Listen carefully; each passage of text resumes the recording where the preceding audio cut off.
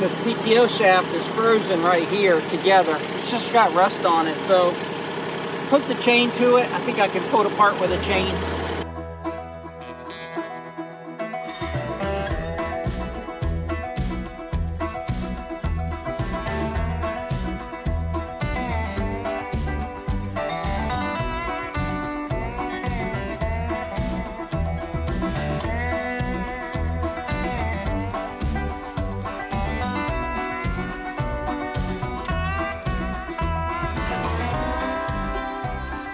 All right, folks, that was a teachable moment right there. I didn't think about this thing rusting. It, it was greased.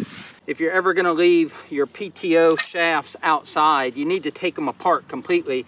It's always easier to hit them with a wire brush and then lube them so they go together than to do what I just did, which is pull them apart.